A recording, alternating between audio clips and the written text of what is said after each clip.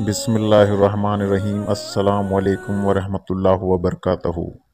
उम्मीद करता हूँ कि आप अल्लाह पाक के फजल करम से ठीक ठाक होंगे। अल्लाह पाक से दुआ करता हूँ कि आप तमाम बहन भाई हमेशा हँसते मुस्कुराते रहें। आमीन। प्यारे बहन भाइयों आज का जो अमल है वो इंतहाई जो है ताकतवर और फ़ायदेमंद अमल है।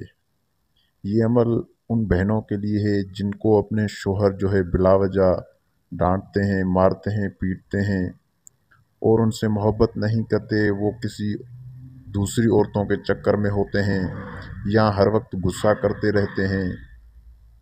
अगर कोई काम भी कर लिया हो, फिर भी डांटते रहते हों।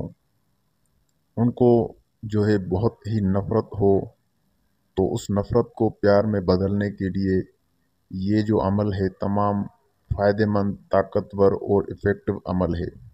ये अमल आपने सिर्फ़ एक बार ही करना है और आपका जो शोहर है इन ताला आप से बेानतहा मोहब्बत करने लगेगा।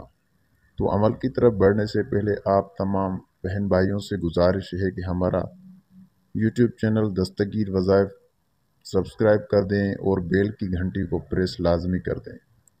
तो अमल कुछ यूँ है कि आपने बावजू होकर टाइम और वक्त की कोई पाबंदी नहीं, मेरी तरफ़ से जो इजाज़त है वो आम है। आपने बावजू होकर सात मरतबा दरूद इब्राहिमी अवल आखिर पढ़ना है।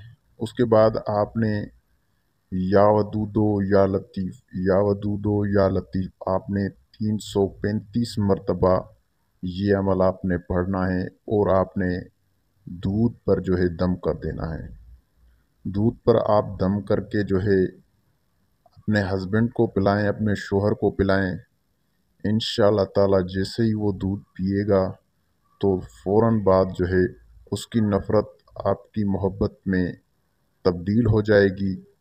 इन आपका ग़ुलाम बन जाएगा, आपके हुक्म पे चलेगा, आप जैसे चाहें उसको अपने हिसाब से चला सकते हैं। इन जज़ाकल्ला